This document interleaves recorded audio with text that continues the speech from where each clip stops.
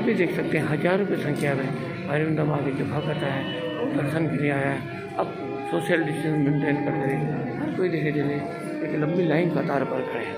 आइए, अब यहाँ पर ज़्यादा नहीं, सिर्फ़ बीस से पच्चीस मिनट रहेगी, उसके बाद यहाँ से बाहर चले जाएँगे।